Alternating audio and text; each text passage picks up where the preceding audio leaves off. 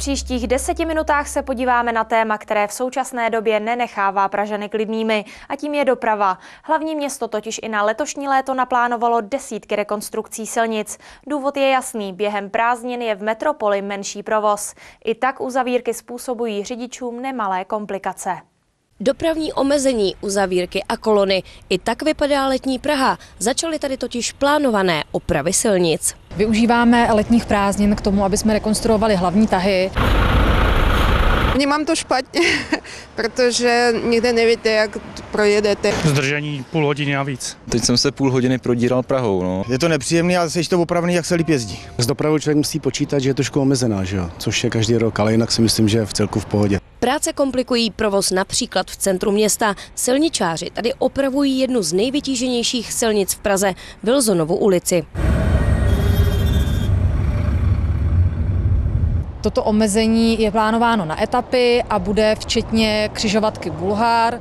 Eh, budeme vždy uzavírat jeden jízdní pruh. Nuselský most. I tady se řidiči v létě musí připravit na komplikace v souvislosti s opravou mostu a také tubusu. Metra Vyšehrad tady bude částečně omezen provoz. Jsme evidovali masivní zatékání z toho stropu eh, v technických prostorách stanice. Mezi další vytížené tahy, které letos silničáři opraví, patří také ulice k Barandovu a Dobřížská. Technická zpráva komunikací tam vymění povrch vozovky. A nejen to. Také pokračují opravy mostů Máme zde naplánovanou opravu estakády Holešovičky, což je mostní objekt, který je nad ulicí Povltavská, včetně nájezdových rám. Práce na silnici se ale nebudou týkat jen metropole. Obrnit trpělivostí se tak budou muset i řidiči v okolí Prahy na hlavních příjezdových tazích, například na dálnici D1 mezi 12. a 16. kilometrem ta oprava eh, je naprosto nezbytně nutná. Eh, připravovali jsme ji rok, eh, mimo jiné ve spolupráci s krajem se zprávou údržby silnic. Komplikace v dopravě ale nespůsobují pouze opravy silnic a mostů. Například v Pražských řepích je částečně omezený provoz ve Slánské ulici. Natálie Forsterová, televize Praha.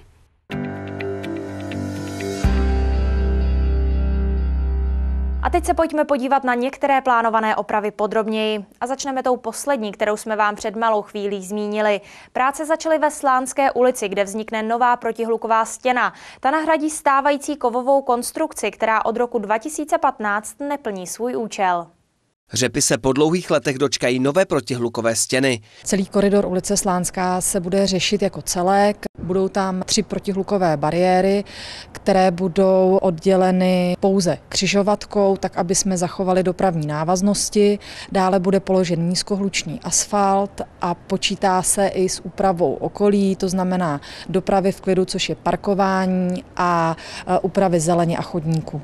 V roce 2015 nechal magistrát odstranit skleněnou výplň z kovové konstrukce. Ta tak ztratila svou protihlukovou účinnost a ještě donedávna místní obyvatele i radnice řešili, jak se vyrovnat s hlukem z aut, kterých tu denně projede až 20 tisíc. Já jsem nadšený, že eh, vlastně po sedmi letech, eh, co to řeším já, eh, se podařilo dostat to do fáze já už jsem přesvědčen o tom, že není, není možnost jiná, než že se skutečně protiluková stěna postaví. Dneska, jak vidíte, tak, tak se to eh, bourá, mělo by to trvat eh, možná do konce eh, srpna. Poslední harmonogram, který máme o TSK, tak když by to opravdu všechno, všechno šlo tak, jak by mělo jít bez problémů, tak oni chtějí přes léto vysoutěžit dodavatele nové protilukové stěny a na podzim by se začala stavět. V souvislosti s demolicí konstrukce a následnou výstavbou nové protihlukové stěny musí řidiči v ulici Slánská počítat s dopravním omezením. Tato stěna se bude rozebírat a dopravu by to mělo omezit vždy v jednom jízdním pruhu v obou dvou směrech.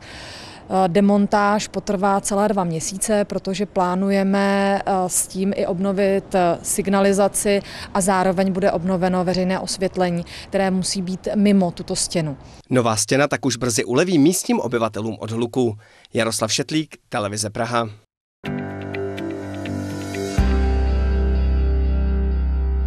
A opravovat se bude i Barandovský most, včetně komunikací, které k němu vedou. Město proto řidiče předem upozorňuje, aby svou cestu plánovali s časovou rezervou. Pražský Barandák je totiž jednou z nejvytíženějších dopravních tepen v hlavním městě. Touto mimoúrovňovou křižovatkou projede denně více než 140 tisíc aut. Od srpna do července příštího roku budou probíhat dvě etapy oprav mostu, který je součástí komunikace ulice k Barandovu. Bude se zde opravovat nejenom povrch, který omezí dopravu, ale proběhne celková sanace eh, celého mostu již potom bez dopravního omezení, která bude probíhat na spodní stavbě a bude probíhat až do roku 2019. Další oprava začne 16. července a potrvá do 18. října. Opravovat se bude komunikace k Barandovu od ulice k Holini po Pražský okruh. Technická zpráva komunikací zde chce kompletně vyměnit povrch vozovky. A tato komunikace se bude opravovat po částech, bude tam zachována eh, maximální možná průjezdnost, to znamená, že nejprve budeme opravovat směr eh, z centra a poté směr do centra. Jedná se o souvislou údržbu, kdy součástí bude i oprava dopravního značení svislého či vodorovného. Dva prázdninové víkendy se bude opravovat nájezdová rampa na Barandovský most, tedy od ulice k Barandovu. V průběhu rekonstrukce bude uzavřen jeden jízdní pruh. Eh, jeden víkend bude 28. a 29. července a druhý víkend bude 4. srpna a 5. srpna. Rekonstrukce tohoto úseku je plánovaná záměrně na víkendy. Jedná se totiž o rampu, která je velmi vytížená. Upozorňujeme řidiče a snažíme se na ně apelovat, aby si zvolili dostatečnou eh, časovou rezervu, protože zde mohou eh, nastat komplikace a zdržení. Všechny tyto tři rekonstrukce nicméně dopravu ovlivní zásadně. Jedná se totiž o hlavní tahy. Podle technické zprávy komunikací je vše koordinováno tak, aby dopad na dopravu byl co nejmenší. Lenka Castillo, Televize Praha.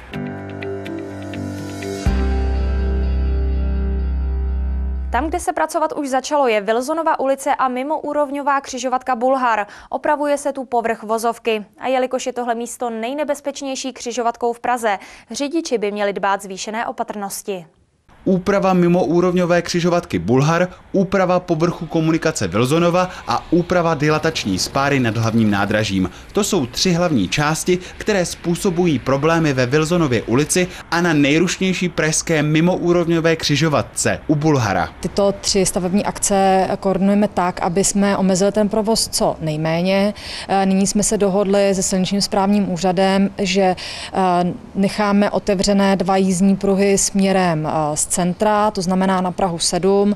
Eh, řidiči zde projíždějí stavbou, eh, proto apelujeme na zvýšenou opatrnost, protože je tam snížen, snížená obrusná vrstva o 5 cm. Navíc veškeré práce, které by jakýmkoliv způsobem mohly narušit provoz, budou dělány mimo dopravní špičku. V hlavních dopravních špičkách by měly jezdit dva jízdní pruhy směrem z centra a jeden jízdní pruh do centra. Na opravy mají vliv ale i hlukové nebo prachové normy normy. Samozřejmě je potřeba vědět, že v Praze jsme omezení možností pracovat v noci. To nám hygienické předpisy neumožňují, ale snažíme se prodloužit směny maximálně a zkrátit tím opravy všech ulic.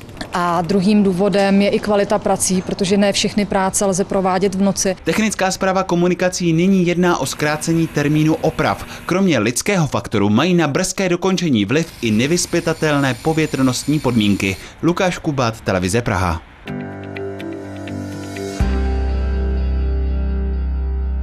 Na závěr vás vezmeme na Jiráskův most, kde měli začátkem prázdnin řidiči nemalé problémy. Podle technické zprávy komunikací se ale práce podaří stihnout dříve, než se původně plánovalo. Jedna z největších dopravních komplikací v centru města je tady, na Jiráskově mostě, kde je kvůli výměně povrchu vozovky doprava svedena v každém směru do jednoho jízdního pruhu. Zde probíhá rekonstrukce obrusné a ložné vrstvy povrchu na Jiráskovém mostě plus předpolí, eh, které je na městské části Praha 5, eh, což jsou ulice, které navazují na Jiráskův most. Nedochází jen k opravě povrchu, ale také izolačního souvrství. To pomůže prodloužit životnost konstrukce mostu. Provádíme eh, sanaci eh, poškozených částí hydroizolace, tak aby jsme zamezili zatékání do mostu a dále budeme potom upravovat dopravní značení. Původní rekonstrukce byla plánovaná až do konce srpna, ale vzhledem k tomu, že se jedná o páteřní komunikaci, podařilo se technické zprávě komunikací domluvit s dodavatelem stavby na urychlení. Celková rekonstrukce, eh, vzhledem k tomu, že jsme mm, se domluvili s dodavatelem na dvousměnném provozu, tak by měla probíhat se zkrácením zkrácením. V tuto chvíli nedokážu předjímat, jak velké to zkrácení bude, bude záležet na, také na klimatických podmínkách. Navazující komunikace v Praze 5 by měly být v plném provozu už v druhé půlce července. Lukáš Kubat, Televize Praha. V Praze 5 naše dopravní putování končí. Jezděte bezpečně a hlavně trpělivě. Opravit se pražské silnice prostě musí. Brzy na viděnou.